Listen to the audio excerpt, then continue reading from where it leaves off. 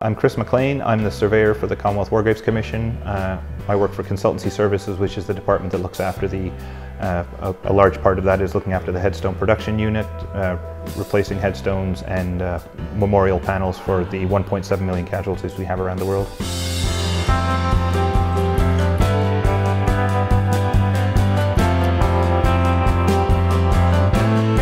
We have over 23,000 sites around the world.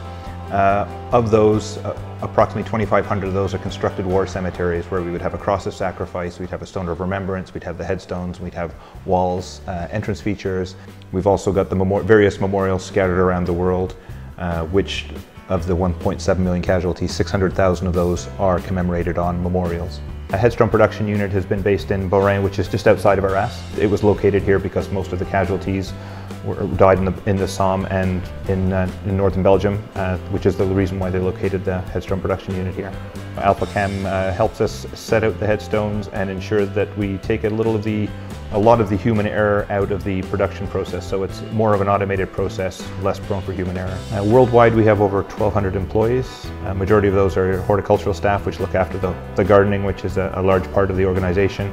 Um, and in head office we have over 100 employees. For producing headstones we, we would purchase 40 different headstone types approximately and a similar number of stone types itself. So we have different shapes of headstones and different stone types which would go into various cemeteries around the world.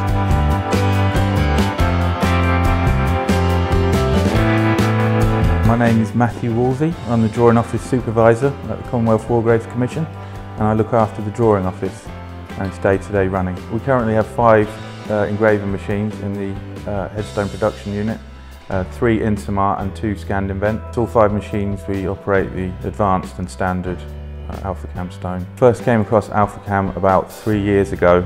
Um, we were doing some work in India and I needed some advice on uh, CNCs um, so contacted AlphaCam and they helped us out. The majority of the headstones I would say are Portland limestone, which originally came from the island of Portland and still does. Uh, we also have uh, headstones in different countries based on local stone availability. For example, in uh, Ireland we have Irish limestone, Scotland we have granite, Canada we have granite, South Africa granite, uh, and uh, Italian marble called Botticino limestone, which is used in the Mediterranean area and African and Indian countries. Cemeteries get inspected uh, and, and, the guys out there are looking for uh, broken, damaged headstones. So they identify those and then create an order of headstones to be replaced. That then goes to the records department who generate a text file of the order. AlphaCam then works with that text file um, the, the macro.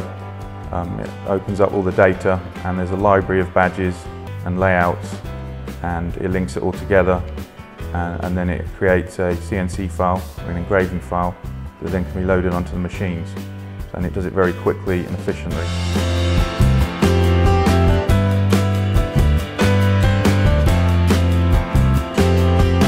The date of death, the regimental name, the service number, uh, a religious emblem if it was requested by the family at the time, and also a personal inscription if the family requested a personal inscription, which would go at the base of the headstone. And the Commission uses two standard fonts, we call them World War I and World War II font. Uh, they were designed by MacDonald Gill. We, the macro uses those fonts um, to create the engraving files so they can be engraved thousands of different combinations, other letters and numbers and special characters will link with each other in the spacing.